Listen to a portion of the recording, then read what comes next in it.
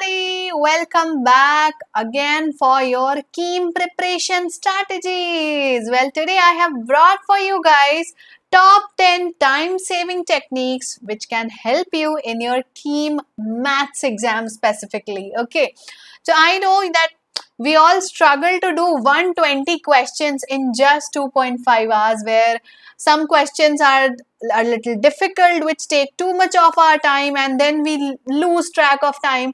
Sometimes we need questions to even do the guessing game. So basically time is everything in the exam right? So majorly what happens is we know everything but in the exam we are not able to perform as good as we know and then it results in just sadness and sadness because we prepared so much but we couldn't perform an exam and that's not what we want right so these time saving techniques will help you in attempting all the questions in the given amount of time and not give you stress at all. Okay, now if you are new on the channel, subscribe quickly. I'm Sana Khan, your maths master teacher for Vedantu, Vedantu Malayalam channel and I am here to make KEAM preparation 100% complete in every way possible. I will give you every tips and strategies for your KEAM Maths exam, all the chapters, revision, PYQs, formula cheat sheets, everything just at one place Vedantu Malayalam channel. So just subscribe to it right now. Okay. Now let's begin with the techniques and tips that is going to help you in the exam. Number one. So first of all, let me know in the chat box that do you also struggle to score well to attempt all the questions out of 120 especially in your maths exam because maths has the largest portion we all know and uh, maths takes a lot of time in solving solving solving the questions because it has very less theory.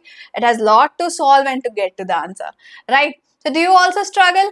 If yes then let's look at some important points and tips to prepare well for your KEAM exam. Number one focus on time speed and accuracy. How can you do that? First of all you should have a watch to keep track of time. I have told you about ABC strategy, right? So you have to track your time according to that, that how much you are spending time on the questions you know. How much you are spending time on the questions that you know but you are not sure of. And how much time you should spend on the questions that you don't know at all. Because sometimes we like to guess also, right? So timing has to be tracked very, very properly. Next, how can you maintain your speed? Only if you don't waste time. Okay? Don't waste time. That is going to give you speed. And how can you do that? Any question that is taking longer than 1.5 minute, skip.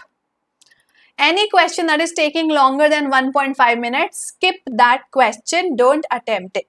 Okay? Just leave it for last. And accuracy is super important because maths is all about the final value.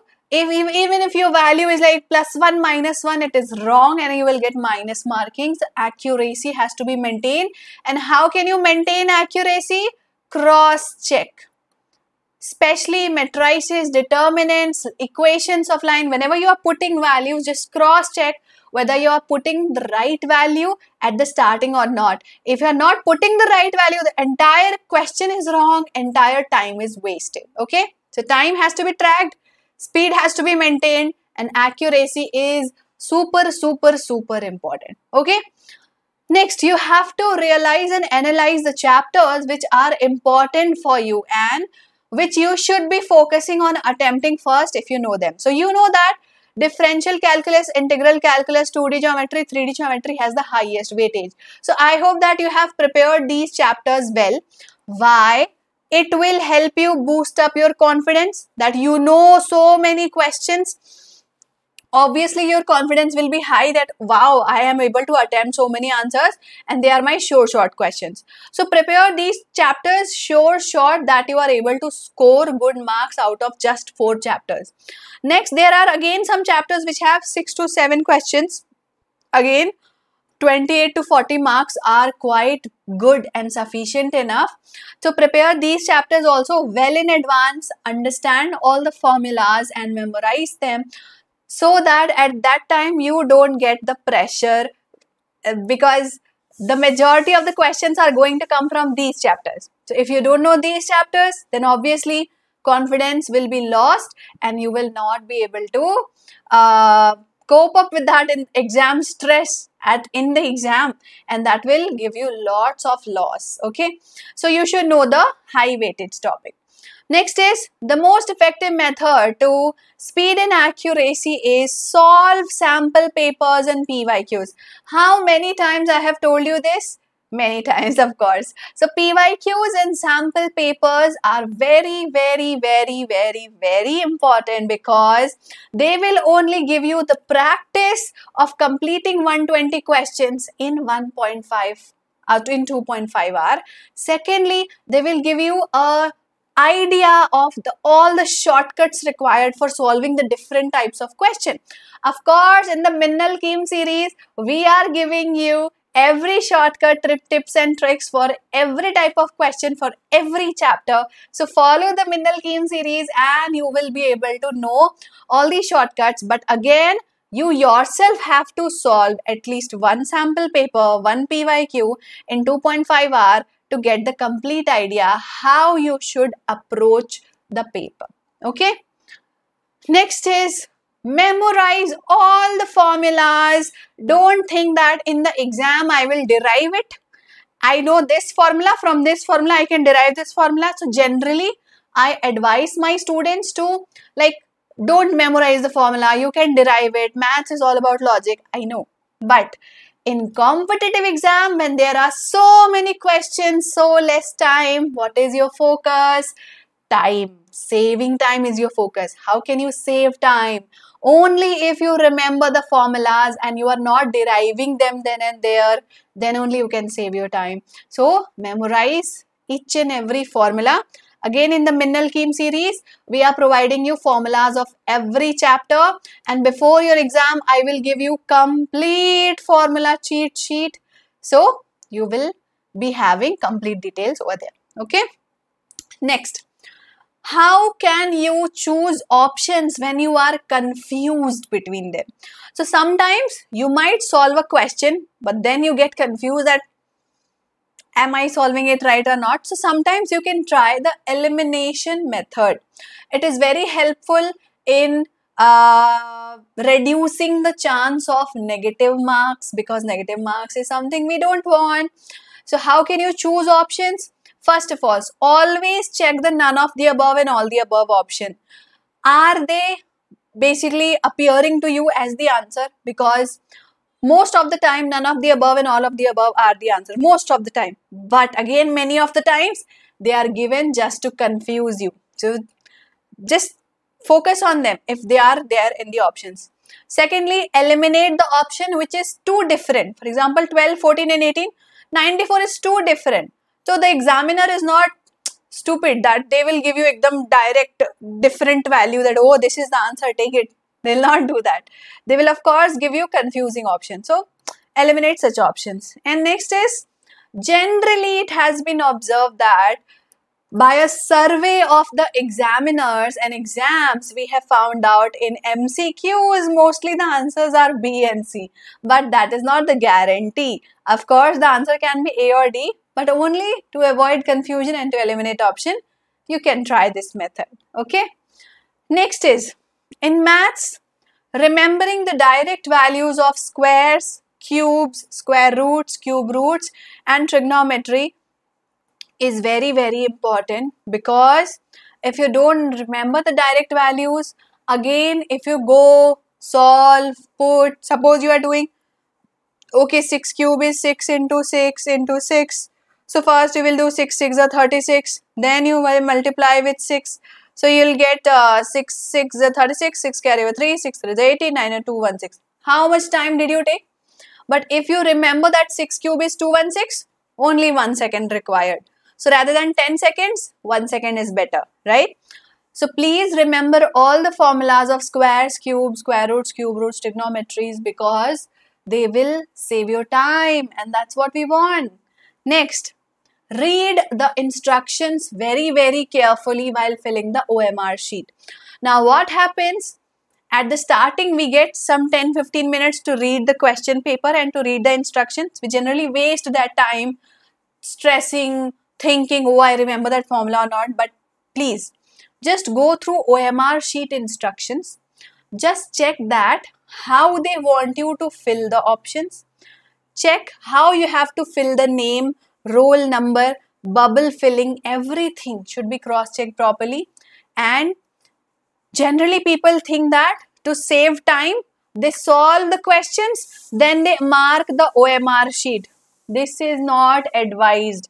Because what happens is suppose question number 1 option a is correct question number 2 option b is correct question number 3 option a is correct. But what you do? You do a then you do b then you again do b. And if you do one one circling wrong one question is also gone and along with that other questions are also gone. Because sometimes we are like we uh, cross check the wrong bubble and the entire paper can go in waste. So try to fill the OMR sheet at the same time. Okay? Next. Some questions can be solved by option test as well. So what is option test? Suppose they have given you equation of a line and they ask this point, this point, this point, which point lies on the line. No need to solve, just take the point, put it in the equation of line. Take the point, put it in the equation of line. Take the point, put it in the equation of line, you will get your answer automatically if it if left hand side is equal to the right hand side, right? So sometimes from options we can reach to solution, okay? Options also help you to basically analyze that like in which direction you have to go. Sometimes we get confused, oh, ellipse equation was this, hyperbola was this, was it plus, was it minus? Just look at the options. If all the options are plus, plus, plus, then you will be sure that, okay, ellipse is plus, hyperbola is minus. So like that you will know. So always look at the options whenever you are feeling confused. So basically, the exam is not just about having the knowledge or not just about basically having a strategy in your mind, but also you need all these shortcut tips and tricks which will help you in saving your time because if you don't save your time, if you don't invest it at the right place, now how will you invest it at the right place? Right place is nothing but the questions which you know solve them first so in yesterday's class also uh, i told you guys that ABC method should be followed. First, solve the question which you know 100%. Leave the question which you don't know. Leave it, leave it, leave it. Just cross, cross, cross in the question paper. After that, again, once the entire paper is over, again check the question paper. Okay, now I think I can, uh, I know this question. If I try to memorize it, I will remember. Then approach that question. Solve the questions. And at the end, you check are you scoring above 350, above 300? It's fine. If you feel that I'm not even close to 200 marks, I'm not even 150, then of course you you will try to do the guessing game, right? So then you go for the guessing game because negative marks is something it can benefit you, it can uh, demote you, right? So at the end only you go for guessing game. In the middle, never be like, I think this is the answer, I will mark it. No, don't do such questions. Always at the end, just realize and analyze whether you are getting 250 plus 350 plus marks. Then don't go for negative marks. Don't do guessing at all. Even for one question, don't do it. Okay. So, study smart, not at all hard, and work even harder because only last one week only 8 9 days are left for this KEAM exam. And uh, of course it's not the end but it is definitely a beginning to your career and you have prepared so much during this time. So try your best that whatever you have learned during this time you have to give the output as much as that, right? And it can only happen if you have the right strategy in mind, the right tips and tricks in your mind which is going to help you in solve all the questions. Alright guys, so all the very best for your KEAM exam. I'm Sana Khan, your maths master teacher. I am here to help you prepare for each and every chapter, each and every topic, each and every PYQs and any doubts that you have. Okay, so do let me know in the comment section also that you want any tips, any strategy on any other topic or anything, any help from my side, do let me know in the comment section. I will help you out. Alright, thank you so much for watching today's video. Do hit the like button if you enjoyed today's session and subscribe to the channel. Thank you guys. See you in the next class. Bye-bye.